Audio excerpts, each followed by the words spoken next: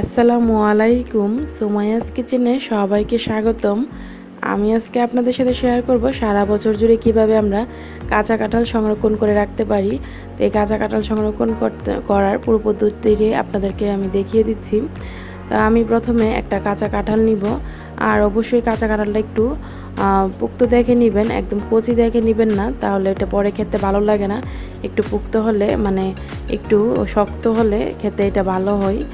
তো এই যে দেখুন, আমি এখানে এরকম প্রথমে উপরে কুসাটা ফেলে দিয়ে বড় বড় টুকরা করে নিয়ে তারপর আমি আমার পছন্দ মতো টুকরাগুলো করে নিয়েছি।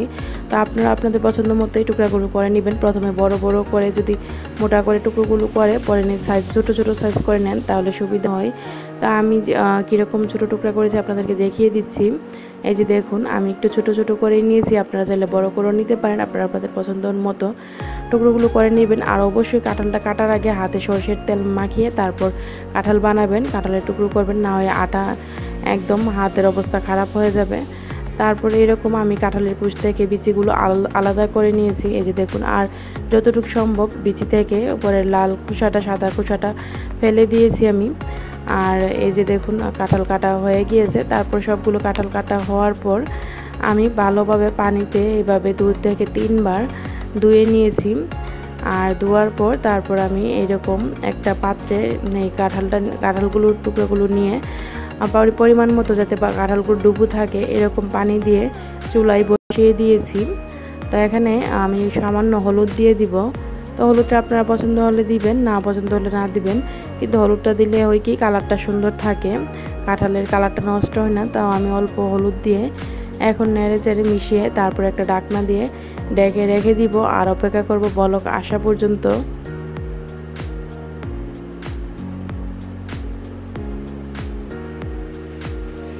তো এই যে দেখুন, বলক চলে এসেছে। তো এই পর্যায়ে চুলাটা বন্ধ করে দিব। আর এর চেয়ে বেশি কিন্তু সিদ্ধ করবেন না, তাহলে বেশি সিদ্ধ হয়ে গেলে ভেঙে যাবে টুকুরগুলো আর এরকম বলক আসলে, একটা বলক আসলে চুলাটা বন্ধ করে দিবেন।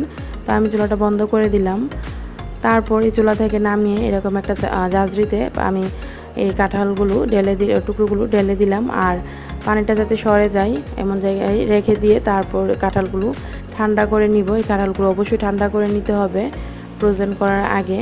তো এই যে দেখুন, কাঁঠালের যত পানি আছে সব কিন্তু সরে গিয়েছে।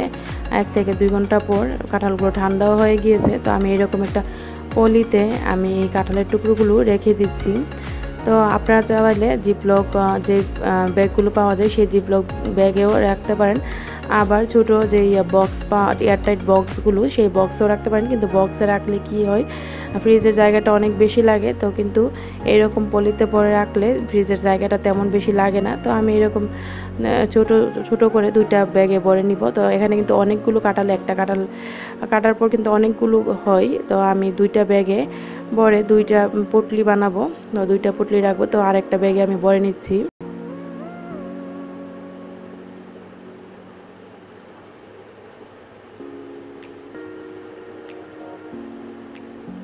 তো এইভাবে আমি সবগুলো কাঁঠালের টুকরো এই পুটলিত রেখে দিচ্ছি, এই যে দেখুন। তো এই যে দেখুন, আমি দুই প্যাকেট করে নিলাম। দেখে তো বুঝতে পারছেন। তো এখন আমি এই কাগজটা মুড়িয়ে ভালোভাবে একটা করে ভালোভাবে মুড়িয়ে নিয়ে রেখে দিব। এই যে দুই প্যাকেট আমি করে নিলাম, সুন্দরভাবে মুড়িয়ে নিয়ে। তারপর এরকমভাবে রেখে দিবেন। আর আপনারা চাইলে আরেকটা পদ্ধতিও ফলো করতে পারেন, আমি আপনাদেরকে দেখিয়ে দিচ্ছি। এইভাবে ফ্রিজে রেখে দিলেও পারেন, আবার চাইলে এরকম ফাইবার যে ব্যাগ সেই ব্যাগের ভিতরেও কিন্তু আপনারা বড়ে এই যে পলিটা, আবার এইরকম একটা ফাইবার ব্যাগে বড়েও রেখে দিতে পারেন। আর আমি একটা পলি, পলিতে রেখে দিয়েছি আর একটা এরকম ফাইবার ব্যাগে পলিটা ঢুকিয়ে তারপর রেখে দিলাম। তো আপনারা আপনাদের পছন্দ মতো দুইভাবে রাখতে পারেন, কোনোভাবে স্বাদ নষ্ট হয় না। তো আমি চেষ্টা করেছি আপনাদেরকে খুব সহজভাবে এই কাঁঠাল রাখার পদ্ধতিটা দেখানোর জন্য। তো এখন আমি ডিপ ফ্রিজে রেখে দিব এই কাঁঠালের পুটলিগুলো। আর যখন ইচ্ছা হবে সিজন ছাড়া যখন ইচ্ছা হবে, তখনই রান্না করে খাব। আর আমি কিন্তু এই কাঁচা কাঁঠালের রান্নার ভিডিও আপনাদের সাথে এর আগে শেয়ার করেছি আর আমার কাঁচা কাঁঠালের রেসিপি আমার অনেকেও অনেক পছন্দ করেছে। আমার আগের একটা ভিডিও এই যে দেখুন, আপনারা দেখতে তো পাচ্ছেন আমি এরকম শুটকি মাছ দিয়ে রান্না করি। আবার অনেকভাবে কাঁচা কাঁঠাল রান্না করা যায়, তো আমি আপনাদের সাথে শেয়ার করেছিলাম রেসিপিটা আমি ডিসক্রিপশন বক্সের লিঙ্কটা দিয়ে দিব, আপনারা চাইলে দেখে নিতে পারেন। তো আমি এই কাঁচা কাঁঠালের খুব সহজভাবে আপনাদেরকে দেখানোর চেষ্টা করেছি ফ্রোজেন করে কীভাবে সারা বছর আমরা রাখতে পারি। এর আগে আমি আপনাদের সাথে কাঁচা আম সংরক্ষণ করার একটি ভিডিও শেয়ার করেছি। আবার জাম কীভাবে সংরক্ষণ করে রাখতে হয় সারা বছরের জন্য একটা ভিডিওতে আপনাদের সাথে শেয়ার করেছি। আমি ডিসক্রিপশন বক্সের লিঙ্কগুলো দিয়ে দিব, আপনারা চাইলে দেখে নিতে পারেন। আমার আজকের এই কাঁঠাল সংরক্ষণ করার পদ্ধতি যদি আপনাদের কাছে ভালো লাগে, আপনারা আপনাদের পরিবার ও বন্ধুদের সাথে শেয়ার করবেন। আর আমার এই ভিডিওটি ভালো লাগলে একটা লাইক দিবেন। কোনো প্রশ্ন থাকলে কমেন্ট করবেন, অবশ্যই আমি উত্তর দেওয়ার চেষ্টা করব। আর আপনাদের কাছে আমার অনুরোধ, আপনারা আমার চ্যানেলটি প্লিজ সাবস্ক্রাইব করবেন। আর এরকম নিত্য নতুন ভিডিও পেতে সাবস্ক্রাইব করার পর পাশে থাকা বেল আইকনটি প্রেস করে রাখবেন, যাতে আমি এমন নিত্য নতুন ভিডিও দিলে আপনাদের কাছে সবার আগে নোটিফিকেশন চলে যায়।